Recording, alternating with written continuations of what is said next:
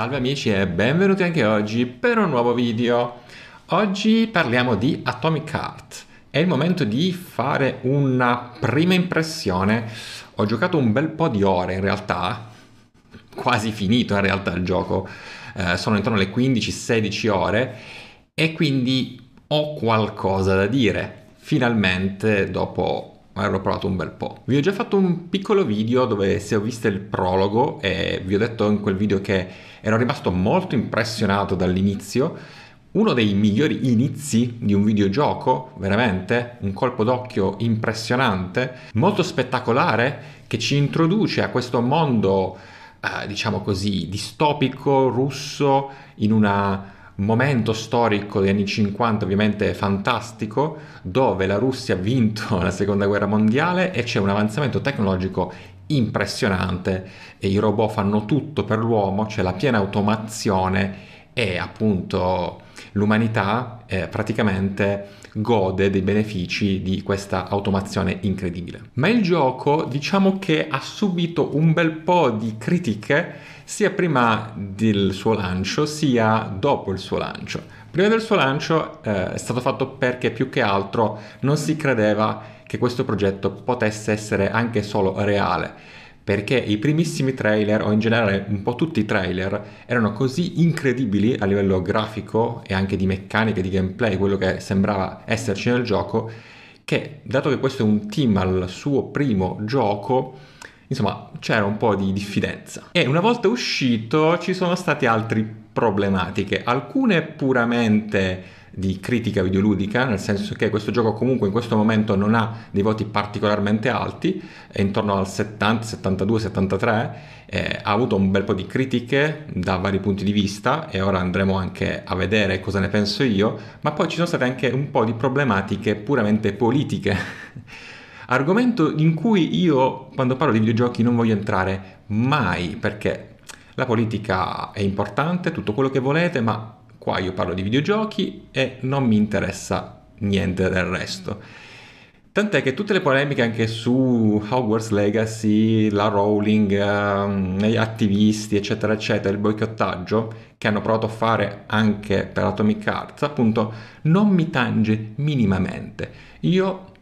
ve lo dico adesso e ma magari ve lo ripeterò anche in futuro se dovesse capitare nuovamente perché ah, a questo punto due giochi su due con diciamo problematiche che esulano effettivamente al videogioco stesso. A me non me ne frega un cazzo di chi fa i giochi o chi è dietro eh, i videogiochi, a me interessa il prodotto, quindi non avrò nessuna opinione su questa questione boicottaggio pro-Russia uh, a favore Ucraina, non me ne frega un cazzo.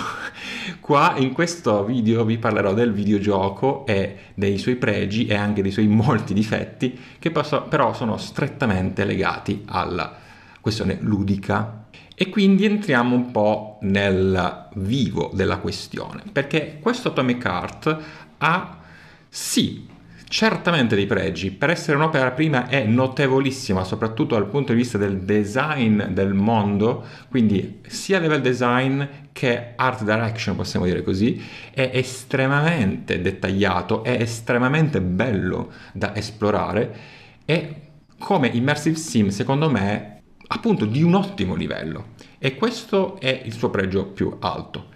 Però come controllare, secondo me, questo gioco ha una marea di difetti, ma veramente tanti.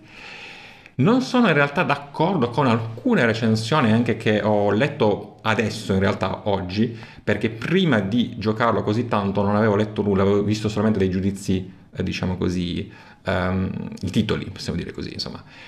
E in particolare mi aveva colpito un uh, creator mm, che seguo, internazionale, Skill Up, che è sempre molto critico, molto on point,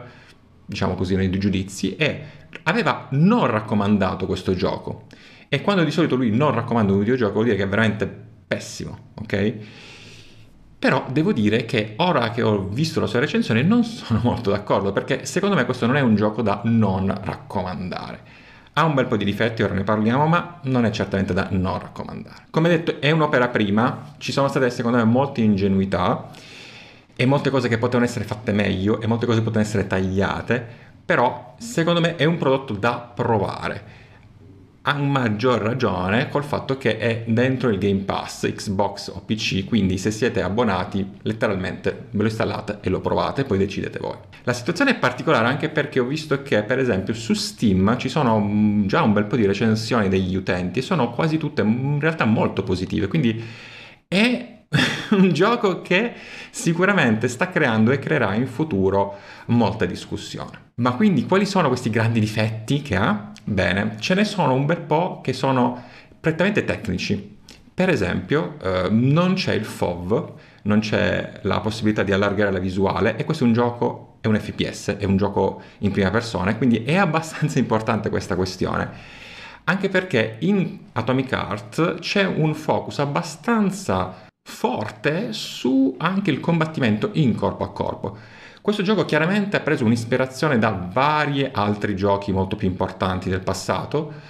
come Fallout sicuramente, come Prey sicuramente, anche un po' come Half-Life e certamente come Bioshock. Tutti giochi tra l'altro in prima persona, Vabbè, Fallout si può anche switchare, ma tutti gli altri sono giochi in prima persona, ok? E il combattimento in corpo a corpo in Atomic Hearts, appunto, è abbastanza importante, perché l'impostazione che hanno voluto dare loro al gameplay è quella, in realtà, certo dell'immersive sim, certo uh, dello sparatutto, ma hanno voluto dargli anche un tocco un po' di survival. Forse, probabilmente, uno dei difetti di questo gioco è non avere un'identità uh, forte a livello di gameplay, mentre a livello di eh, narrativa, a livello di, di, art direction, di level design, di scelta di vivere in questo mondo distopico estremamente dettagliato, c'è una grande identità, invece nella parte del gameplay molto meno, è palesemente preso un po' qui, un po' là per cercare di fare un po' di tutto. E questo un po' di tutto non funziona particolarmente bene, almeno a mio avviso. Questo perché questo taglio che hanno voluto dare simil survival, secondo me non funziona moltissimo con il bilanciamento poi che c'è nel gioco a livello di nemici, soprattutto in alcune zone rispetto ad altre. Mi spiego meglio. L'inventario in questo gioco Atomic Hearts è alla Resident Evil, letteralmente abbiamo un inventario fatto a quadretti eh, che possono essere riempiti dalle cose che raccogliamo e ogni oggetto ha uno spazio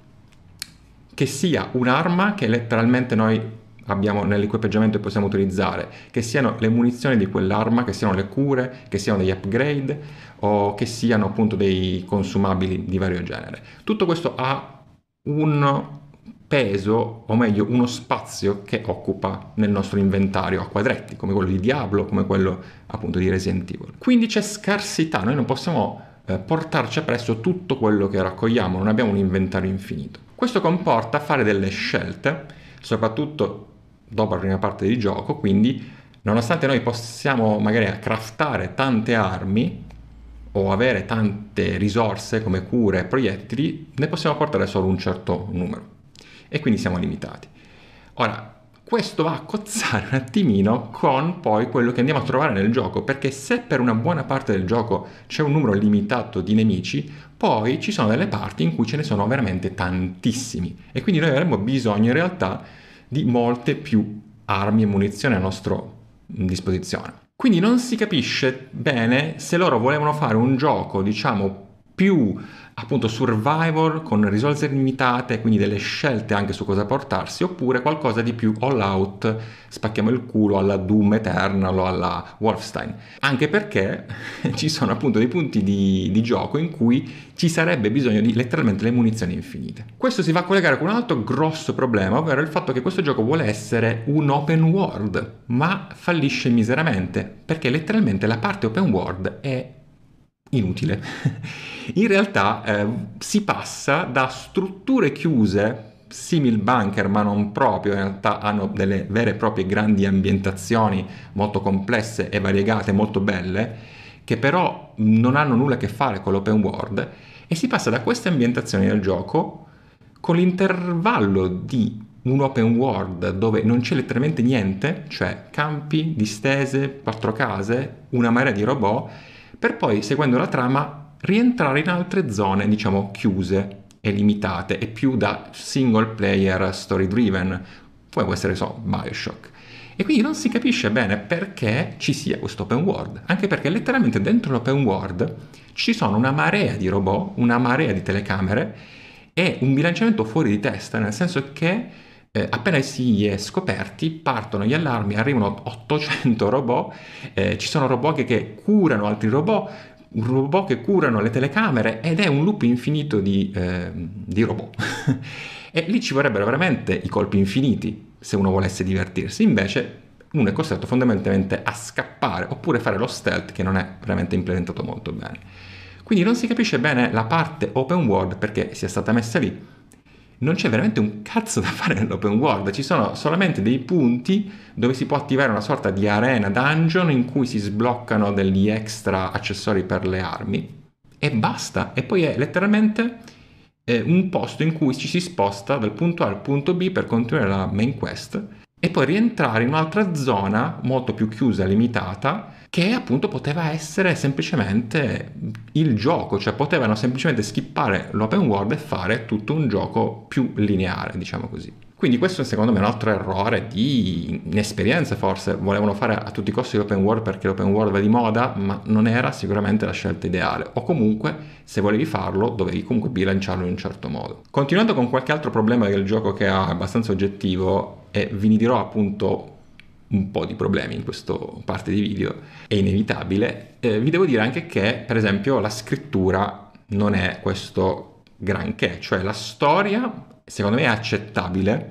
anche se i colpi di scena o dove va a parare sono abbastanza ovvi. Il problema è la scrittura del personaggio principale, il protagonista di voi, che è veramente una cosa oscena, ovvero il vostro alter ego, quello che voi interpretate, è un idiota, è un rozzo e praticamente eh, i suoi dialoghi sono una delle cose più eh, moleste e odiose che abbia mai sentito in un videogioco cioè, veramente ogni volta che apre bocca è sempre una polemica, un insulto, è così gratuito, senza niente di particolare di, di smart, e inveisce in continuazione con questo guanto che ci aiuta nell'avventura. Io non voglio andare troppo dentro la trama, quindi se volete giocare per questo non faccio troppi riferimenti alla trama, però diciamo che c'è un rapporto tra voi e il vostro guanto e inizia così il gioco, che è, vi dà guida, vi fa una guida e oltre che a darvi dei poteri. Ecco, questo rapporto col guanto e poi con un'altra situazione meccanica che è quello che vi farà gli upgrade, è qualcosa di super molesto, cioè tutti i vostri dialoghi sono super fastidiosi, non so perché li hanno scritti così, onestamente. Mentre tutto il resto di scrittura, sia quello del guanto che insomma delle descrizioni magari degli altri robot, del mondo in generale, eh, quelli invece sono fatti bene, però dato che voi dove, dovete interpretare, diciamo così, un immersive sim di questo protagonista, sono sicuro che vi darà noia tantissimo come è stato scritto. Ora parlerei un po' anche però del gameplay, no? Perché voi vorreste sapere probabilmente che come si gioca questo gioco alla fine è un FPS, però con che piglio? Appunto, un piglio, diciamo, vagamente survival, un pochino più moderato, eh, proprio perché c'è questa limitazione di eh, risorse, anche se poi, andando avanti col gioco, si modifica un attimino la situazione, nel senso che voi iniziate con veramente poche armi e, e pochi poteri e piano piano andrete ad acquisirli e a distribuire dei punti nei vari skill tree dei vostri poteri per ampliarli, per far sì eh, che proprio, proprio alla Bioshock possiate fare col vostro guanto uh, variazioni che vi permettono di aiutarvi nel combattimento. Per esempio avete tutta una linea sul ghiacciare, una linea sull'elettrificare, una linea sul creare eh, dei polimeri che rallentano i nemici e che possono essere attivati dai vari status elementari per ampliare il congelamento, l'elettrificazione del fuoco, cosa molto simile a Prey, devo dire, e questi poteri appunto piano piano voi accumulate risorse e potete ampliarli. Ok, questa cosa è abbastanza classica, fatta abbastanza bene, dà abbastanza varietà del gioco, anche perché con una mano fate una cosa e con l'altra mano potete fare altro, sia corpo a corpo che sparare con fucili, pistole, AK-47, Kalashnikov, eccetera, eccetera. Quindi tutto sommato eh, è godibile comunque il combat system, anche se all'inizio è un po' lento e piano piano quando sbloccate un po' di cose diventa un po' più veloce. Questo perché è un FPS ma voi non potete sprintare, potete al massimo fare dei dash e piano piano che siete più forti ne potete fare un paio, potete anche aumentare poi la velocità di movimento, diventa un attimino più divertente. Cioè da metà gioco in poi il gioco a livello di combat system secondo me diventa più divertente. All'inizio secondo me è un po' meno divertente. Quindi questa parte secondo me è apprezzabile, è un pochino più tattica, meno alla Doom, anche se però alla fine del gioco può diventare un po' alla Doom, proprio perché diventate molto più potenti. E mi è piaciuto mh, mm, l'upgrade, diciamo, delle armi che si possono craftare e poi upgradare. E soprattutto mi è piaciuto in particolare il fatto che voi possiate sempre respeccare oppure distruggere le cose che avete costruito e non perdere nulla dei materiali. Questo è da notare e se ci giocherete magari ricordatevelo appunto potete sempre rispeccare tutti i punti, quindi una volta che voi avete messo i punti dove volete, se volete cambiare completamente build, rispeccate tutto e rimettete i punti da un'altra parte. Stessa cosa per le armi, magari avete provato e avete usato tanti materiali per upgradare più armi,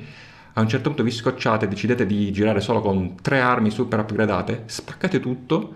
recuperate tutti i materiali e vi maxate quelle tre armi, ok? Questa cosa molto buono a livello di gameplay, eh, permette una flessibilità senza scocciatura. E insomma, quindi alla fine questa Atomic Heart com'è? Come lo reputo? Secondo me è un gioco eh, da provare. da provare, potrebbe piacere molto ad alcuni, potrebbe non piacere molto ad altri. Come opera prima di questo team, secondo me alla fine è un buon prodotto, solo che ha un po' di bug, un po' di angoli da smussare e un po' di scelte opinabili, un po' di scrittura opinabile, però devo dire che la parte di costruzione del mondo, dettagli, anche um, lore che si va apprendendo eh, interagendo con varie cose del, del mondo, ci sono non vorrei fare uno spoiler, però insomma c'è una zona museo e in questa zona museo ci sono varie aree, in queste aree ci sono um, delle descrizioni anche audiovisive di tutto quanto e questo amplia tantissimo la lore di dove state giocando. Quindi da quel punto di vista è stato fatto molto bene il gioco. Però ha veramente tanti piccoli difetti, tanti sbilanciamenti, tante cosine eh, che magari sono appunto errori di, di inesperienza, però vanno un po' a minare l'esperienza in generale. Per dirne una che ora mi viene in mente, per esempio anche a livello di gameplay, ci sono delle boss fight, ecco le boss fight sono anche quelle leggermente un po' tediose, cioè eh, questi boss assorbono una marea di colpi, ogni volta che farete una boss fight durerà almeno 5-6 minuti. E dovrete anche prepararvi bene perché appunto saranno delle spugne di danno e insomma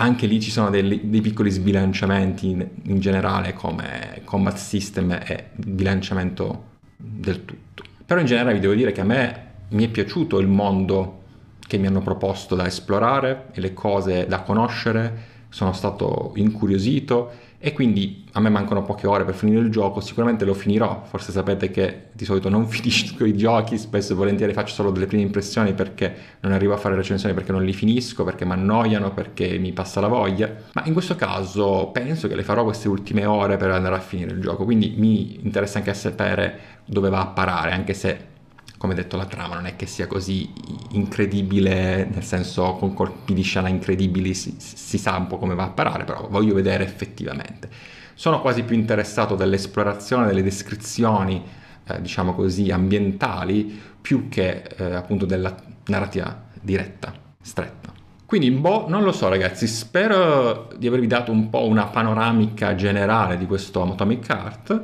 perché appunto eh, sta essendo un gioco abbastanza controverso da molti punti di vista, sia a livello di critica eh, inerente proprio al gioco in sé, ma anche di altre cose che non c'entrano nulla con il videogioco e sono puramente politiche. Se qualcuno comunque lo sta giocando, l'ha giocato, vuole darmi qualche suo parere come la sta vivendo, eh, certamente potete scrivere sotto nei commenti, sono curioso di sapere appunto come lo state percependo per chi ci sta giocando questo Atomic Heart. Detto questo, chiudo qui la mia super lunga prima impressione e io vi saluto. Noi ci becchiamo prossimamente per altri video qua sul canale, sempre sul gaming a 360 gradi. Rimanete sempre sintonizzati come sempre e alla prossima. Ciao ciao.